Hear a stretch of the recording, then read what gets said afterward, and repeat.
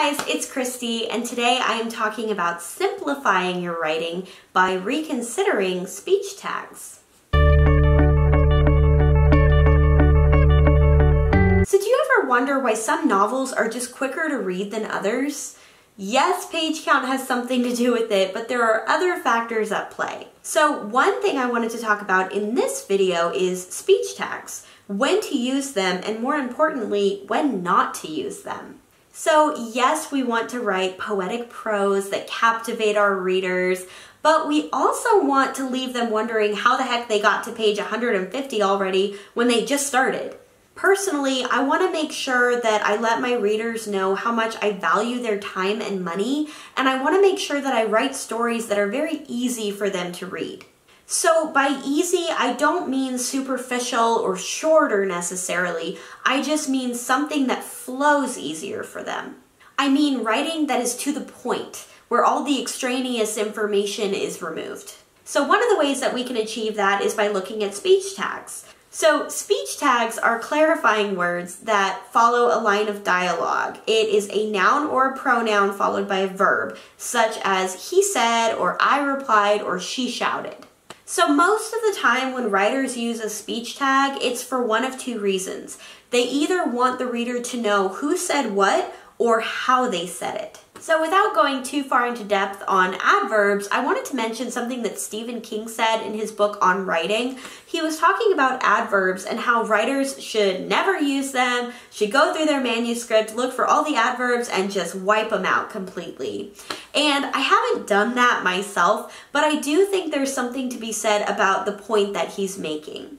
Writers shouldn't rely on an adverb to indicate what a reader is thinking or feeling. And readers also shouldn't need one to identify the tone of a character's statement. For example, let's say that your characters are having a conversation and one character gets angry. He isn't going to get angry right away. There's going to be a transition happening during their exchange it should be apparent in the dialogue itself and also in the characters' physical mannerisms and in their inner dialogue as to what's happening. And those things are what should reveal the situation to the reader. So, that being said, if your speech tags are being used to convey the tone of the dialogue to the reader, then they're probably not needed. It might be that you need to go back and look at some of these other things and other ways that you can convey that tone in your writing. So, as for the point about clarifying the speaker of the dialogue, you might think that this is a non negotiable. I have to use a speech tag to tell who's speaking.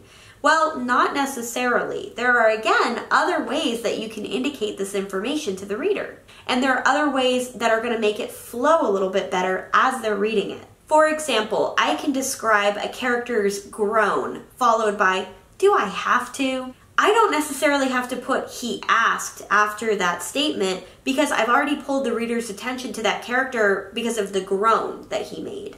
Another example of when speech tags aren't necessary is if your scene just has two people talking to each other.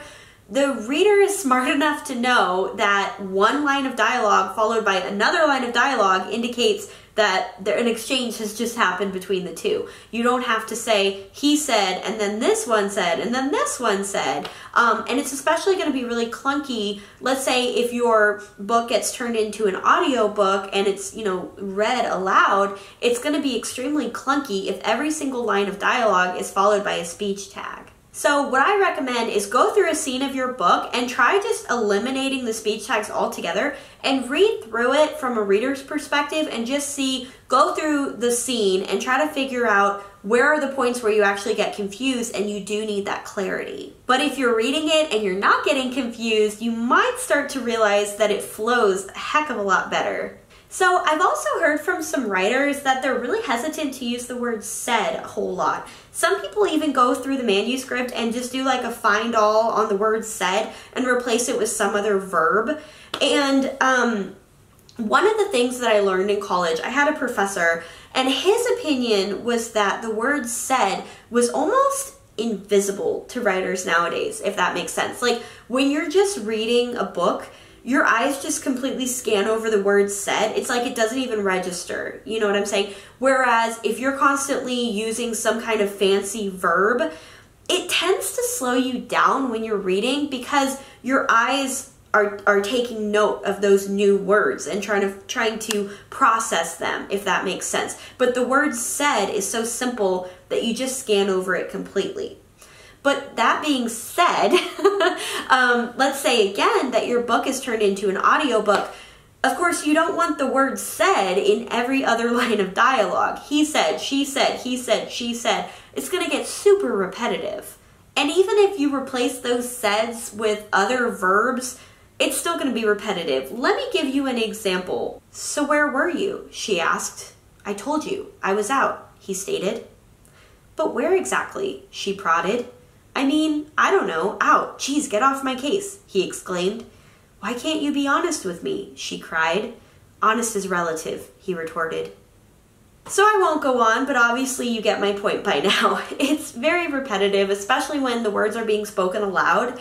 Um, you don't need a speech tag after every single line of dialogue. It's evident to the reader that a conversation is happening and they just don't need it. And this is just a personal preference, but I would rather have the word said spoken aloud a bunch of times than words like retorted or, you know, clarified or, I mean, I mean, just these other more complex verbs. That's just a personal preference, but I feel like it takes me out of the moment, it takes me out of the conversation that's being had.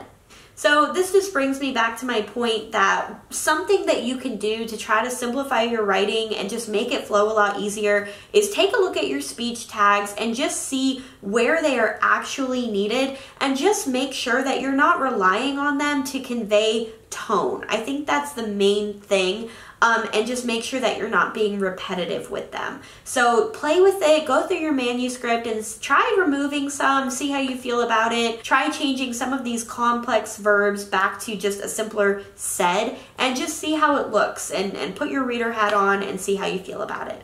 And also try seeing, you know, can I explain some of these things with physical mannerisms or, you know, facial expressions or inner dialogue. You know, can I say this in a better way? So this is one of my tips on simplifying your writing. Stay tuned for more and definitely hit the subscribe button so you don't miss out on future videos. Thank you so much for watching and until next time, bye.